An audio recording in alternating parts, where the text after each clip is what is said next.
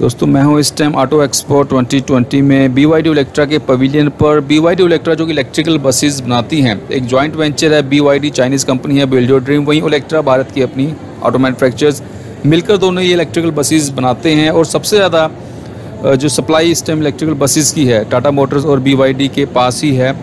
सभी जो maximum state transports हैं या म्यूनसिपल कॉरपोरेशन हैं, इनको इलेक्ट्रिकल बसेस प्रोवाइड की गई। ये बस जो आप सामने देख रहे हो, इसका नाम है E bus K nine D point two. Long range है 250 किलोमीटर इसकी रेंज है। इसके अलावा टोटल 500 पीएस की पावर मैक्सिमम इसकी मोटर जनरेट करती है और 3000 न्यूटन मीटर का टॉर्क भी मिलता है। 43 सीटर ये बस रहेगी। इसके अलावा दो सीट्स यहाँ पर ड्राइवर और साथ में कंडक्टर के लिए अलग से है। एसी बस है, काफ़ी इसमें फीचर्स रहते हैं सीसीटीवीज़ वगैरह। सेफ्टी वाइज काफ़ी ज़्यादा इसमें ध्यान रखा गया है। अब चलते हैं एक बार, इस बस को अंदर से भी देखते हैं हम। जैसे कि आप देख रहे हो, इसका इंटीरियर बिल्कुल काफ़ी कूल है काफ़ी गुड लुकिंग है, देखने में अच्छा लगता है। और काफ़ी स्पेशियस भी फील होता है। वहीं अगर हम सीट्स की बात करें, काफ़ी कंफर्टेबल है और उनकी सीट्स की जो लेदर है, इसकी क्वालिटी भी काफ़ी अच्छी है। Total three C C T Vs यहाँ पर रहेंगे। तीन कैमराज इस बस में लगे हैं सी सी टी वी के।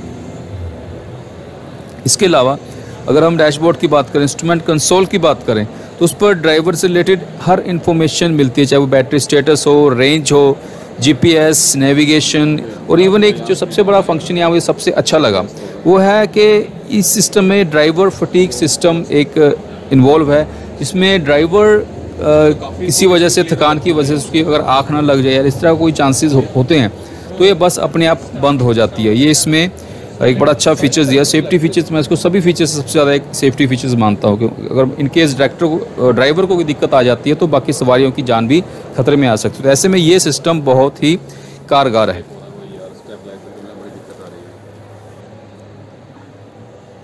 एक और सिस्टम जो मुझे सबसे अच्छा लगा है, वो है कि इसमें जो भी बस का रूट होगा, वो जीपीएस नेविगेशन में फिक्स होगा। अगर कहीं भी लगे कि ये बस अपने रूट से कुछ अलग जा रही है तो उसका नोटिफिकेशन सीधा जो भी इनका सेंट्रल सिस्टम होगा, जहाँ पर सभी बसेस की रूट्स देखे जा रहे होंगे, वहाँ पर उसका अलर्ट जाएगा। कोई भी रीज़न हो सकता है कोई इमरजेंसी हो सकती है किसी तरह की, या इनकेस मान लीजिए किसी तरह कोई हाईजैक हुआ है बस में तो वो सब वहाँ पर, उसका अलर्ट सीधा उस जो सेंट्रल सिस्टम जाएगा, वहाँ पर एक सेफ्टी फीचर्स ये भी एक बहुत बड़ा है जिसको मानता हूँ। चलिए अब चलते हैं, जो नेक्स्ट बस आप ये देख रहे हैं, इसका नाम है के सिक्स एक प्रीमियम सेगमेंट में बस आ जाती है के सिक्स ल्यूक्स अगर हम इसको देखें इसका इंटीरियर काफ़ी हाई लेवल का है। प्रीमियम ये बस आ जाती है लग्जरी सेगमेंट में। और कॉरपोरेट लेवल के लिए इस बस का ज़्यादा इस्तेमाल किया जाता है। और भारत में अपने एक फ़र्स्ट ऑफ़ इट्स काइंड पहली ऐसी बस है जिसमें इस तरह का इलेक्ट्रिकल बस है, जिसमें इस तरह का इंटीरियर का इस्तेमाल किया गया ये एक थोड़ी स्मॉल बस है सेवन मीटर इसकी लेंथ है 200 किलोमीटर इसकी रेंज है।